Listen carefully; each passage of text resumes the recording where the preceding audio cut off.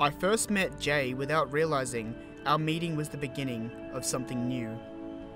What's up, motherfuckers? It started with the street poetry.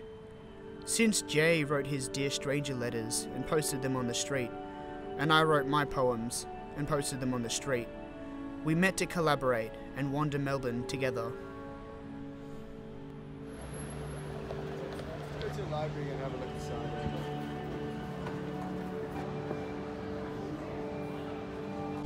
putting up the, the collaboration of uh, stories of the same event. His style, my style.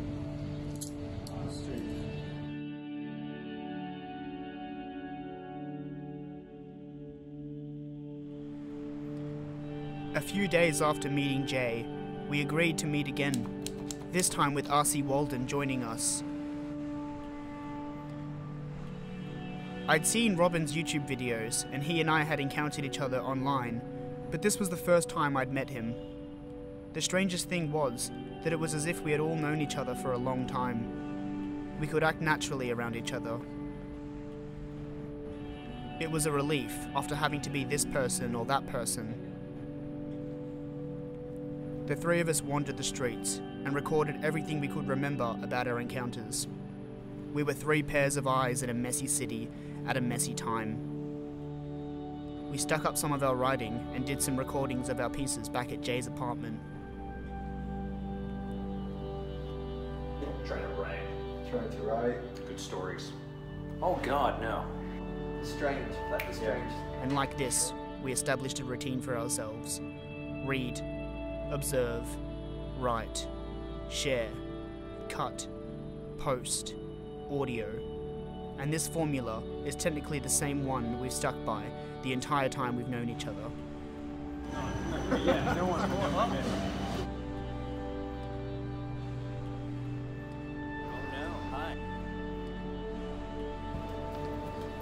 We're buzzing on coffee.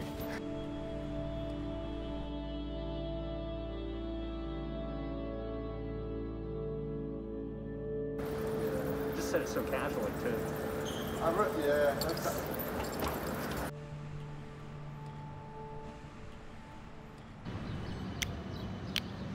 Graffiti wall and a skip, but he'll dream of the snow. You motherfucker saying that. You need to keep writing your poems, dickhead. you don't, don't you stop writing those poems. Yeah. This is what makes the thing so special. It's the greatest restaurant in the entire world. Yeah. What, what about this? What about that? What's that? If it's littering, that's like a global phenomenon. That's why there's a globe over here.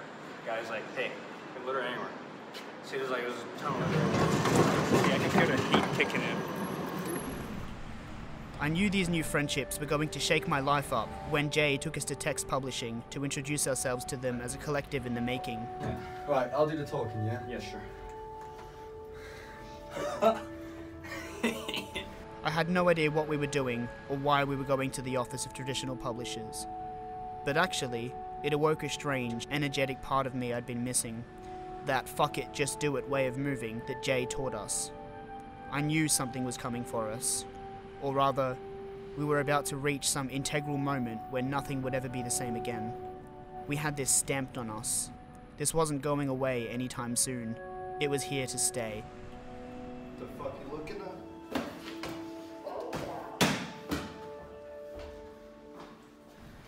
Jay had entered our lives in the jayest of ways, disturbing the quiet and dragging us along with him. And we loved it.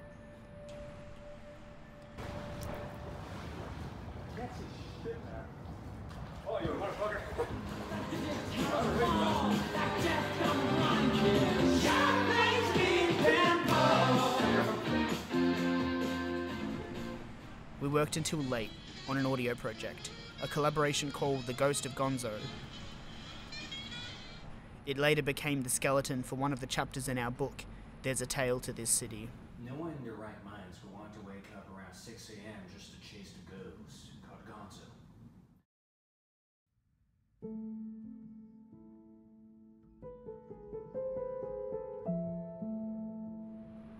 Summer came to an end, and we had already started the beginning of an entertaining project.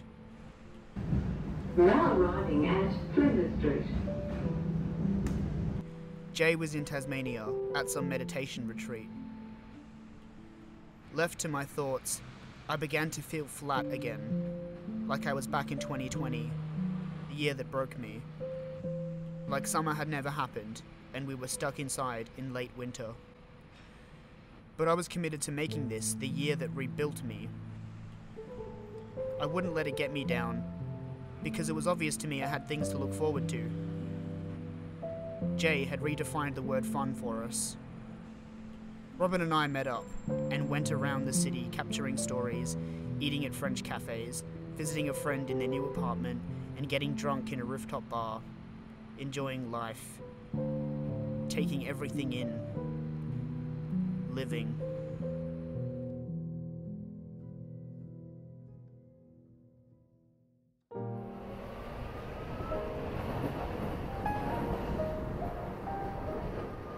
The three of us reconvened in March, but that defeats the entire movement. Oh, look at this. Come here. and we were back to our old ways observing, writing, filming, noticing the things that the average passerby can't see, sticking our pieces up on the walls for the city to read. Our brotherhood was growing stronger and closer. We had learned to understand and criticize each other's voices with honesty and depth. You're speaking too much French. I don't understand it. We had plans. We just didn't know what they were yet. Our world was about to be spun around on a space giant's fingertip.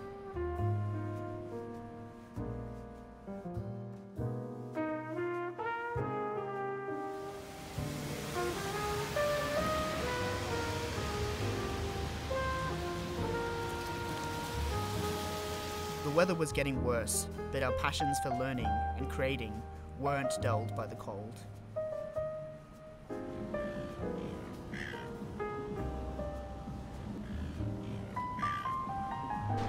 Look at him. What's going on? What's going on?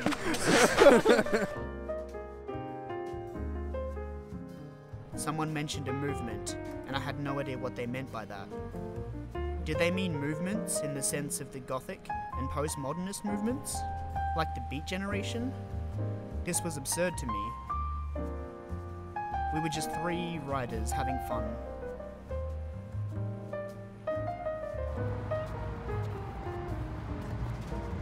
This is my blood.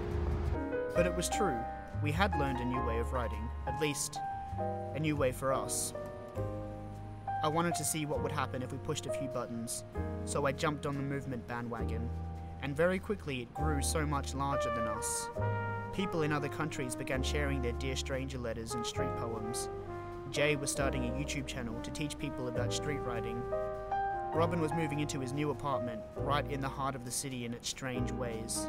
And I was crumbling under the weight of university. We had to do something, create something, to kick off this movement.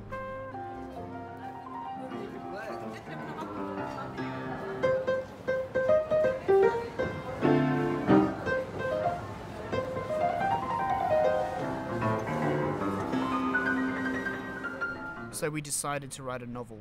We already had the skeleton. Jay had his toilet paper diary entries from his time in a meditation retreat in Tasmania, where he wasn't allowed to speak or write. Robin had his diary entries dating all the way back from January, and I had my poems and some loose narrative pieces. Together, they formed a jumble of a story, but there was a shape somewhere in there. We set out to find the shape. We met Saskia, who helped us as a group find our own shape, our own strengths and goals. And then we kicked off and started writing, and we decided to document the process to show people that it's possible to create, and that collaborating with other artists is fun.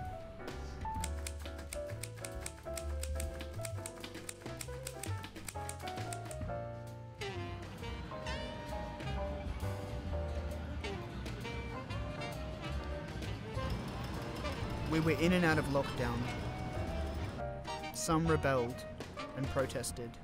We, the people, sit way above them and they cannot tell us what to do. It is the other way round. Most kept up the good work of keeping the city safe. We did what we had to do to make this project work, meeting up fully masked and keeping in constant communication. If we had let the troubles of the world get to us, we never would have completed the book later on. I feel so happy to have uh, Jaidyn here and we're learning together. Kill your darlings. Learn the other person's uh, way of writing. Learn their voice, their style. You're not coming in and changing what they're writing. You're saying, I know you, I know you would say this. Things were constantly changing restrictions, public moods, energy. While Robin had moved into his new apartment, both of us were balancing university. I was working and saving to move out of home, and Jay was keeping us focused and committed to our project. We all had our excuses, but in spite of it all, we had a manuscript to focus on. I'm grateful for Jay. He gave me what years of education had not a dash of confidence. He taught me that I should write fearlessly and truthfully, based on what my eyes can see. His mantra, fuck it, just do it, has really stuck with me. Anytime I hesitate or tremble before making a decision, I remember those words and run headfirst into the fire.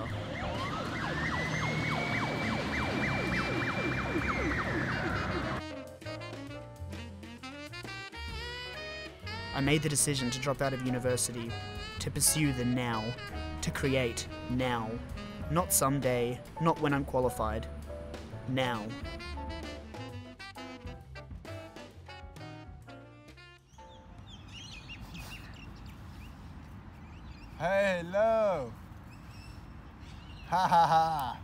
Alright then, we're just at Botanical Gardens, mate. Just, uh, yeah, do you, do you need to go home or do you want to come straight here? Just just call me when you're there, yeah? And then, uh, then we'll walk up to you. Alright then, in a bit, have, have fun sleeping. Bye! We continued to roam and catch stories like flies in a jar, but most of our time was spent meeting in parks, or crouching in Robin or Jay's apartment and smashing out hours of writing, cutting, rewriting, criticizing, and borrowing William Burroughs' cut up method to create our novel. It was around this time that Jay's YouTube channel was starting to take off. Between him and Robin, there was now an archive of video footage of the three of us roaming the streets or working on our novel. But we still remembered to have fun and be young. Alright, who's gonna be the spinner? One of you has to spin it. You can't spin it alone. Hang on. Alright, Jaidyn, get on it. Time was closing in on us. We had set out to write a book with little to no budget and in little to no time, since Robin and I knew that we had until Jay left Australia for good to have this novel finished. And like that, our world spiraled out of control and into chaos. Time was ticking.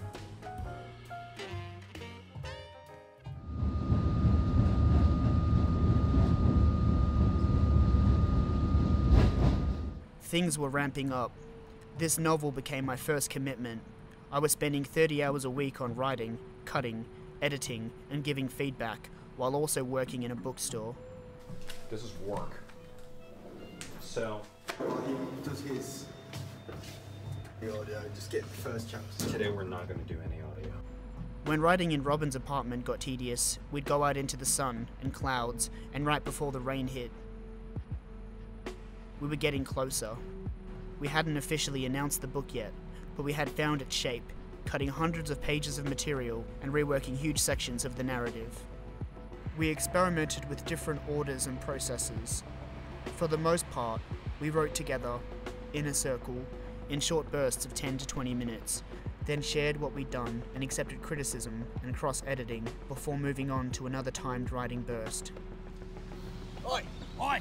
Stop filming! Stop filming! This is how we finished our first draft, and how we cut our second draft, and our third. Is it recording? It is. What's up? My name is John. No, his name is John. So now we're on our last chapter Yes, we are. of editing. Mm -hmm. It's about time. It's about time. We Oh. brought all of our typewriters out here. Yeah, typewriters. Typewriters. Yeah. Yeah. And we're gonna get it done. We're gonna go like pow.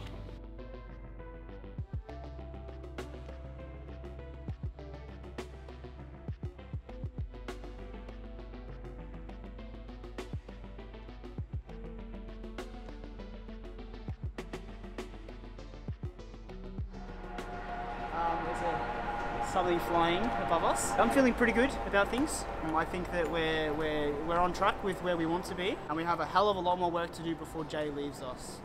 which is going to break our hearts. But it, it is it is what it is. We we carry on.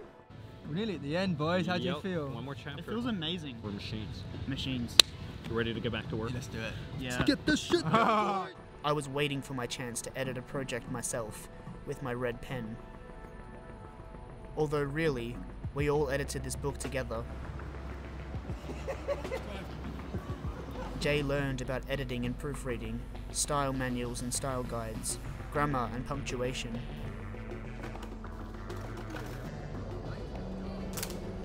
I learned about formatting and experimenting.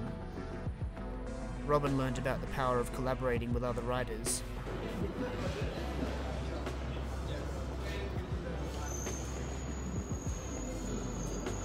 The portrait, you can't really get any of the. Oh,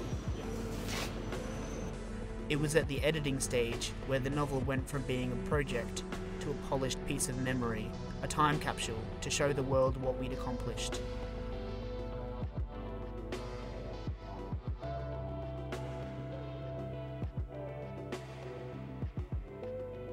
With the book being ready for proofreading, we got to work on sharing details of our book with the world.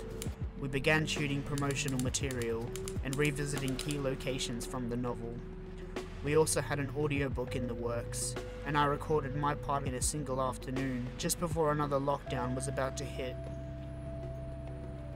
When we went back into lockdown, we finished the bulk of the proofreading over the phone. Jay and Robin typed up our names, Yeah, that's us. We're gonna cut these out. Um, and then we're gonna stick it on on a piece of paper, Mm-hmm. and then we're gonna photocopy it. Let's do it. and at last, the novel was just about done. We had reason to celebrate, even if we would have to do it apart.